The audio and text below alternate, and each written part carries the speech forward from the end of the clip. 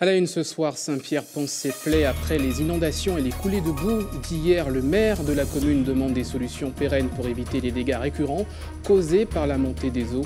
Vous l'entendrez dans le début de ce journal.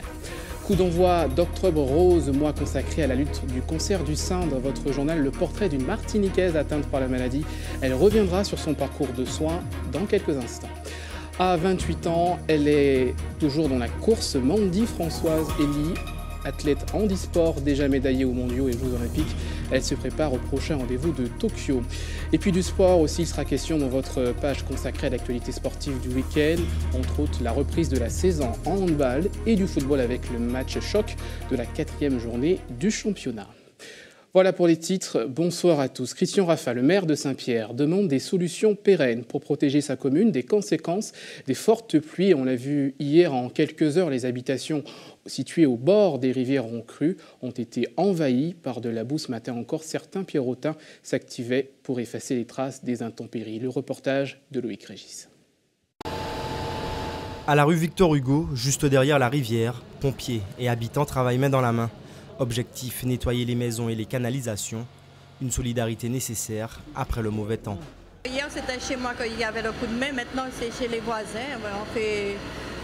C'est le coup de main un peu partout. La solidarité parce que là, on est tous copains et amis en plus, même plus qu'amis, on est des frères. Moi, même, c'est les joies de mes enfants, tu vois. Ah ouais, c'est plus ça. Quand les bails au petit bail, mon pas, pas, tout est perdu là.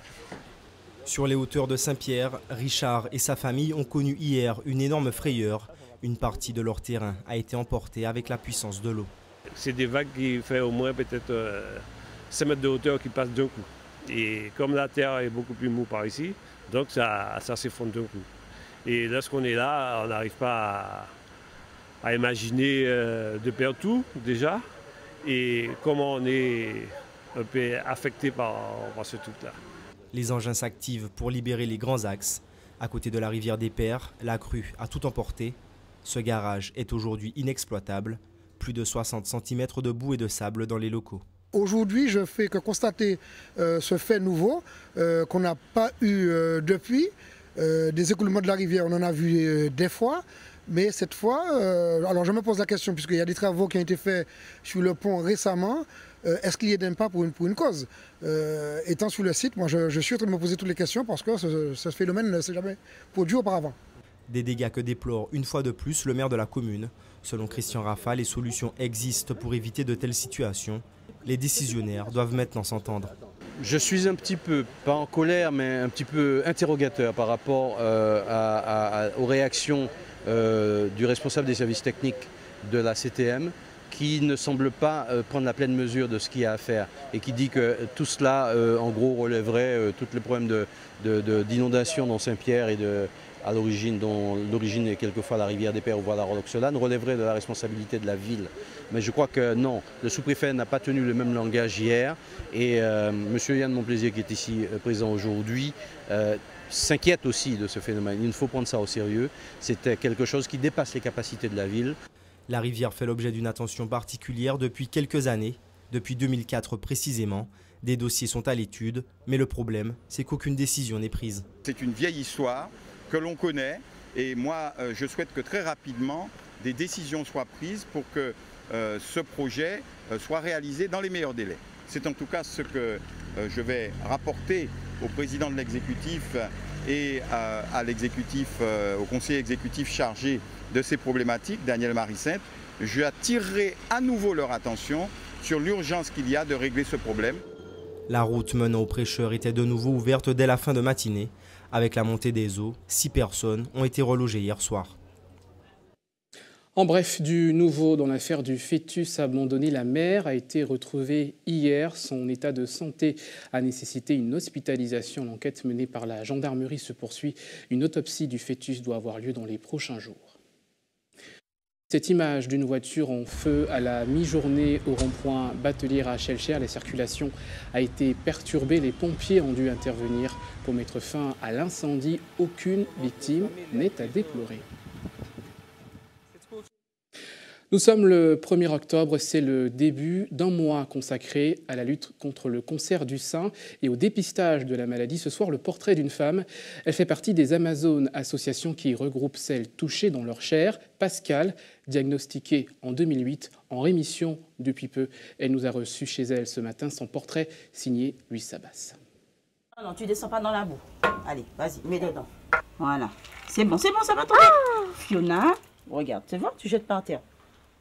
Passer du temps avec ses enfants, vivre le quotidien de la vie, des plaisirs simples appréciés par Pascal. D'autant plus que la jeune femme a affronté le cancer il y a 11 ans maintenant. À l'époque, on lui annonce froidement sa maladie, la laissant dans les compréhensions. Euh, Moi, je trouve que c'est un petit peu blip. hein. Vous avez le cancer. euh, on vous donne un tas de noms corsinum comme sinum, tas de noms latins. Donc, le plus souvent, il faut aller chercher euh, pour être sûr. Et puis après, on vous dit, vous avez le cancer. Un véritable coup de massue. Elle apprend qu'elle devra partir dans l'hexagone pour une ablation partielle de son sein droit. La jeune femme accuse le coup. À l'intérieur de nous, tout s'écroule. Déjà, à l'annonce, euh, on chiale un bon coup. euh, si, il faut, quand on- faut se dire, il faut être fort pour se refaire.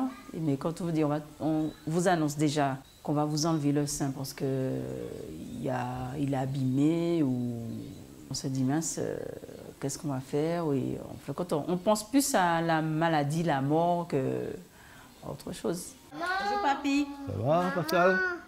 Heureusement, elle est soutenue par ses amis et collègues. Sa maladie devient surtout celle de sa famille, qui se montre forte. C'est unis qu'ils font face au mal. Avec madame, j'ai dit, madame, bon, ben, si elle est comme ça, on doit la soutenir. Pour qu'elle ne se dépaise pas, quoi. Puis ne se laisse pas aller non plus. Alors on l'accepte comme ça. si- On a tout laissé à aux mains du Christ. Il faut que les familles soient là aussi dans les moments difficiles comme ça parce que le plus souvent, la personne qui est malade, comme disait une collègue, la plus souvent, le plus souvent, la personne se retrouve seule, à- confrontée avec cette maladie. Et donc, s'il y a du monde à côté qui peut, même ne serait-ce encourager, pour toujours donner un petit, comment on dit, un petit baume au cœur, ça fait du bien. À son retour, ce sont de longues séances de chimio et radiothérapie qui attendent Pascal. La fatigue physique et émotionnelle est pénible pour cette femme active et, à l'époque, jeune maman d'une fille, aujourd'hui âgée de 13 ans. La chimiothérapie, c'est bon, c'est pénible le jour où on l'a fait. Moi, je dis aller le matin, donc euh, ce qui fait que après l'après-midi, j'avais le temps de me reposer. Une fois que j'avais bu mon verre de coca, euh, je dis mon verre, la moitié de bouteille, puisque c'est ce qui me soulageait, je dormais. Mais la, radiothérapie, c'était fatigant. Je sais pas, on est là, on sait pas si on est bien, si on n'est pas bien, euh, quel degré, parce que comme je vous dis, c'est toujours des mots scientifiques. Elle a vaincu le cancer il y a 5 ans maintenant. Depuis, elle a repris ses activités et subi une opération reconstructive du sein.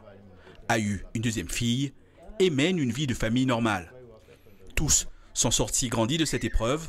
À travers eux, c'est un message d'espoir qui est lancé aux malades du cancer et à leur famille.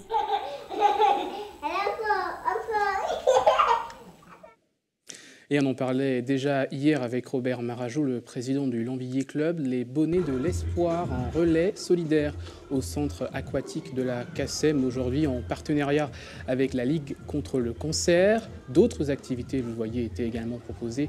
Le droit d'entrée de 10 euros a été reversé pour moitié pour la Ligue contre le cancer. On écoute ces quelques réactions recueillies par Louis Sabas. Donc, il y a une participation de 10 euros.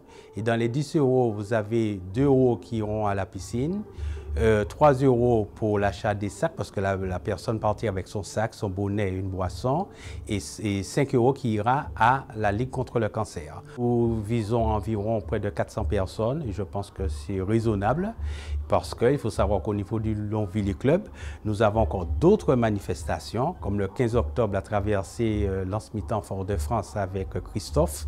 Euh, je sais qu'on en a parlé beaucoup. Vous avez le 21, le relais pour la vie, qui se fait pendant 24 heures sur le stade Georges Gratien, et le Tour de la Martinique euh, à la nage avec Gilles Rondy. Nous voulons vraiment sensibiliser les gens à travers le sport, parce que la- le premier médicament contre la maladie, c'est le sport. C'est important pour moi d'être là aujourd'hui, d'autant plus que je suis une survivante. Donc euh, pour moi, chaque année, c'est une façon de monter ma victoire sur la maladie. quoi. C'est important pour moi de soutenir la cause euh, pour contribuer à la, à la guérison des gens. Et euh, voilà, euh, là j'ai fait la première journée de l'Octobre Rose. Euh, le 15, je vais soutenir euh, Christophe. Le, le 22, je vais courir euh, pour, le relais de la vie. Restez avec nous à suivre dans votre journal retour à Saint-Pierre pour la fête de la choucroute, deuxième édition 350 participants y étaient conviés. Puis dans votre page sport, nous reviendrons en football sur le match choc d'hier soir entre le club franciscain et le Golden Lion. Il y avait comme un air euh, d'Alsace euh, aujourd'hui au marché couvert de Saint-Pierre à l'occasion de la fête de la choucroute. Je vous le disais, 350 couverts pour déguster ce plat typique, un succès pour l'association des Amis de l'Alsace qui a organisé la manifestation.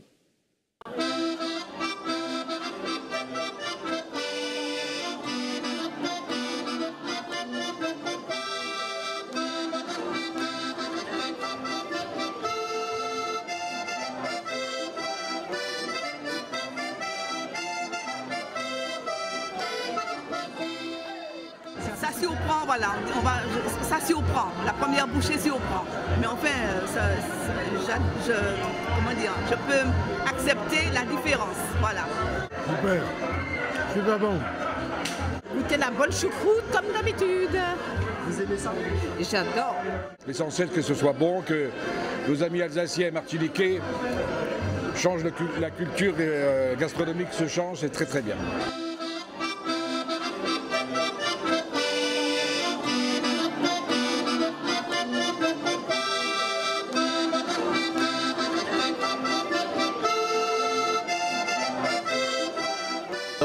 Cette manifestation, elle se résume en un, mot euh, bah, que les gens connaissent bien ici, c'est le lionnage.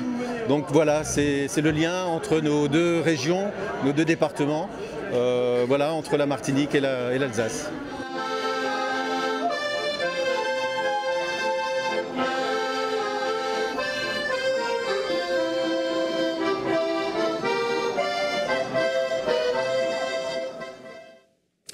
Notre invité, maintenant, nous recevons la toute nouvelle Miss Ronde Martinique 2017. Bonsoir Lucretia Rondamont. Bonsoir. Et merci d'avoir accepté notre invitation. Vous avez été élue euh, hier à l'espace Sonate.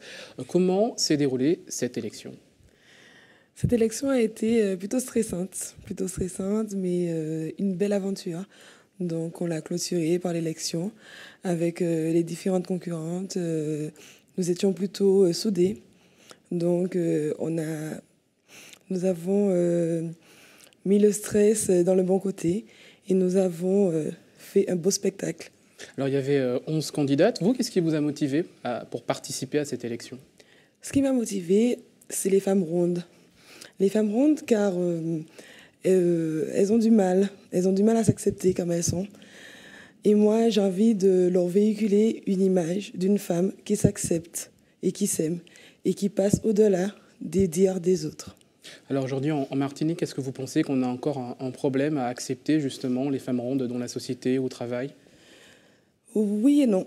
Oui et non. Pourquoi? Parce que on est accepté, certes, car nous trouvons des vêtements, car il y a des magasins pour nous, certes, mais euh, l'apparence est souvent, euh, est souvent jugée. Donc c'est pour ça. Alors vous, justement, vous avez travaillé euh, quelques, quelques années dans le milieu de, de la mode, dans un, dans un magasin. Euh, Qu'est-ce que vous disent les, les, euh, les clients que vous rencontrez, les clientes que vous rencontrez par rapport aux préjugés sur les femmes rondes?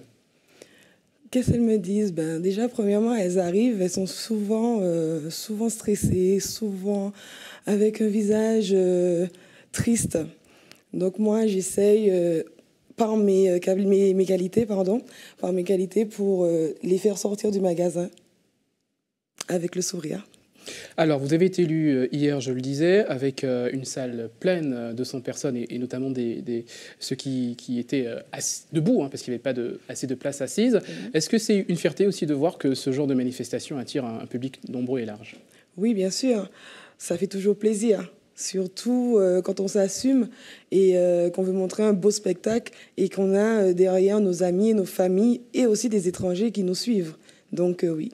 Alors, comme toutes les Miss de Martinique, normalement, vous devez vous diriger au niveau national pour représenter notre île à l'élection nationale. L'année dernière, pour Miss Ronde 2016, ça n'a pas eu, pu être le cas. Est-ce que ce sera le cas pour vous cette année? Pour le moment, nous ne savons pas encore. Mais si ça n'a pas lieu, ben, je, vais, euh, je vais représenter mon île comme il se doit, même si je ne vais pas en France. Alors justement, en Martinique, est-ce qu'on vous verra dans des manifestations? Quelle sera votre activité, votre rôle? Mais Bien sûr, dès qu'on va m'appeler, je vais faire de façon pour être présente. Très bien, merci beaucoup euh, Lucretia Rosamond. Je rappelle que vous avez été élue euh, hier Miss Ronde 2017 et félicitations pour votre euh, couronne. Merci. On poursuit ce journal avec un nouveau portrait d'une femme battante, Mandy François Elie, athlète handisport, championne du monde en 2013, médaillée d'argent olympique en 2016. À 28 ans, elle est toujours dans la course. Elle vise maintenant les Jeux olympiques de Tokyo en 2020. Son portrait signé José Le Chertier. Elle a les yeux fixés vers Tokyo. À 28 ans, Mandy se lance un nouveau challenge participer aux Jeux olympiques de Tokyo en 2020. C'est une idée folle, mais il faut tenir. Hein. J'ai envie de prouver que je suis la reine.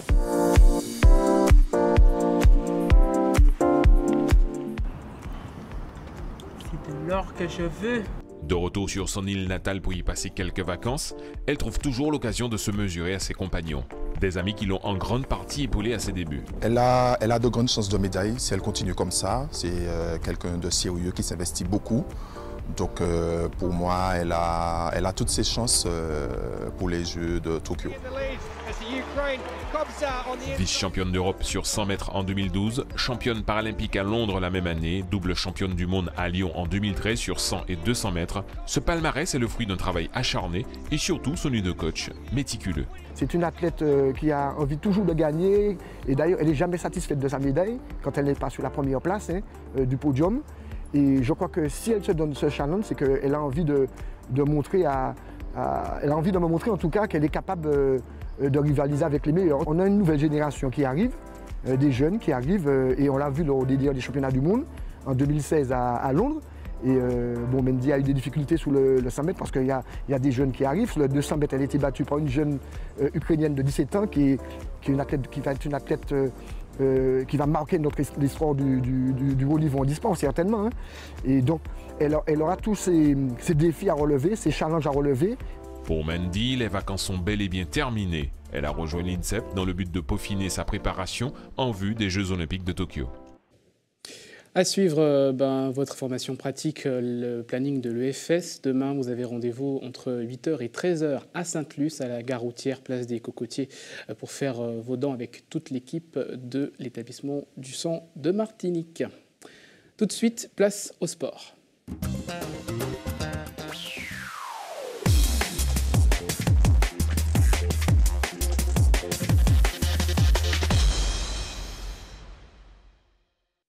Le sport est retour sur ce match euh, au sommet. Hier après-midi, euh, le club franciscain face au Golden Lion, donc c'est quatrième journée du championnat en football. Et c'est le club franciscain qui a pris la tête du championnat. On fait le point sur ce match avec ce résumé signé Karel Chassol et José Le Chertier. En déplacement au François, c'est dans un traditionnel 4-3-3 avec Crétinois au milieu, remplacé par Telga en charnière centrale et un trio d'attaque parsemé Gouron Catherine que le Golden Lion se présente. Côté franciscain, on évolue en 4-2-3-1 avec un quatuor offensif, Abol, Mingé, Marajo, Annette, qui a de quoi faire peur. Devant un nombreux public acquis à sa cause, le club franciscain entre bien dans le match.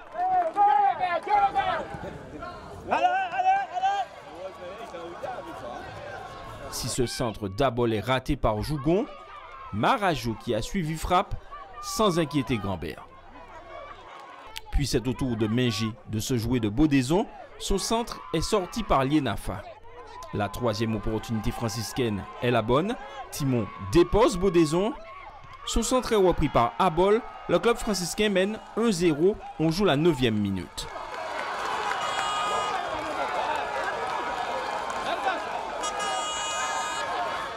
Le Golden Lion tente de réagir sur coup franc, mais cette frappe de près de 30 mètres ne trouve pas le cadre au début de Sully.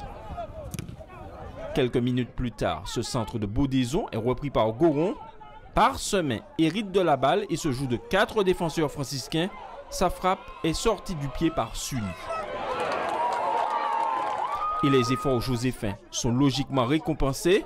Pressé par Noël et Catherine, Annette perd le ballon le centre de Noël est repris par Parchemin. Le Golden Lion égalise à un partout. Une égalisation qui réveille les franciscains. Lancé en profondeur, Marajo fixe Lienafa et Telga. Serre à bol qui décale Mingé hors jeu. La frappe de l'attaquant ne trouve pas le cadre. À la 33e minute, c'est au tour de Lepel de trouver en profondeur à bol. Il a juste Gambert. Le club franciscain mène 2-1. Et juste avant la pause, le même Abol donne un avantage plus large à sa formation. Marajo tente un 1-2 avec Mégé. La défense Joséphine se dégage mal. Abol hérite du cuir, décale la qui lui remet. À la pause, le club franciscain mène 3 buts à 1. Au retour des vestiaires, les hommes de certains se montrent plus pressants. Tout d'abord sur ce coup de parchemin, capté par Sully,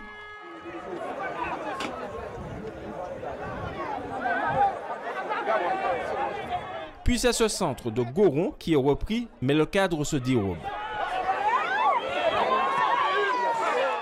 Et sur cette action, Goron est tout près de réduire la marque.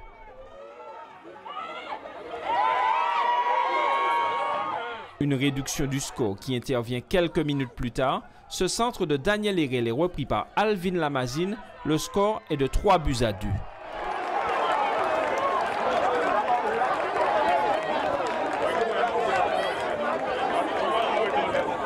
Ici, le club franciscain se procure ces deux grosses occasions. Le score n'évolue plus. Les hommes de Dominique Jean s'imposent 3 buts à 2. Ce soir, on a fait preuve déjà de beaucoup de réussite euh, face à cette équipe du Golden Lion. On avait mis notre plan de jeu en place. Euh, il était important pour nous de bien les attendre et pouvoir contrer sous les quelques opportunités que nous avions. Et puis euh, ce soir, on a fait preuve de réussite. Donc je vais retenir aussi la réussite et puis la solidarité du bloc équipe. Et je crois que ça nous fait du bien ce soir de regagner, je dirais, la tête du classement. Nous sommes entrés dans le match d'une manière un peu timorée. Donc euh, dans ce genre de, match-là, ça se paie cash. Donc euh, nous faisons des erreurs défensives qui, nous coûtent très cher, surtout à des équipes de, tel niveau. Euh, le François était meilleur que nous cette fois-ci, il nous gagne. Eh ben, nous verrons par la suite, le championnat est encore long et nous leur donnons rendez-vous au prochain match. Hier après-midi, l'Aiglon a battu le CSK Pilote 4-0.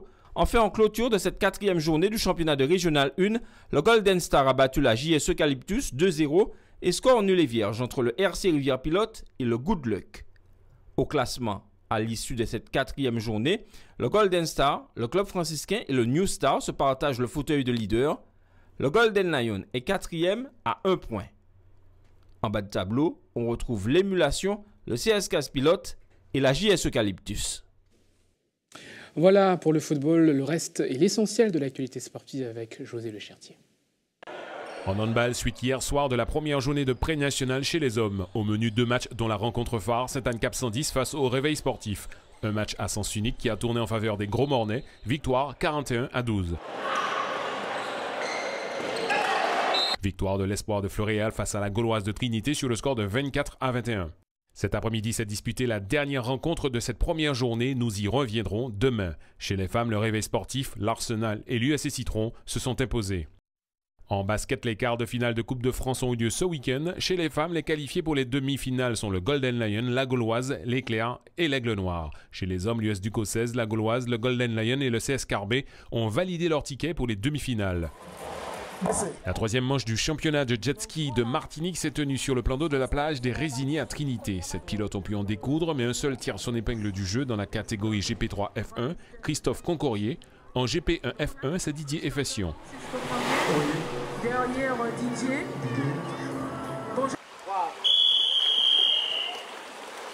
Ce matin à Shellshare, une quarantaine de jeunes de 8 à 13 ans a pris part à la troisième édition du K1 Triathlon Kids. Deux distances étaient au menu de cette compétition pour les 8-11 ans. 100 mètres de nage, 1 km 8 de vélo et 1 km de course à pied. Pour les 10-13 ans, 200 mètres de nage, 4 km de vélo et un peu moins de 2 km de course à pied. Le prochain rendez-vous est prévu en janvier à Sainte-Anne. Voilà, c'est la fin de cette édition. Restez avec nous à suivre l'information nationale et internationale avec nos confrères de BFM TV. On se retrouve juste après. À tout de suite.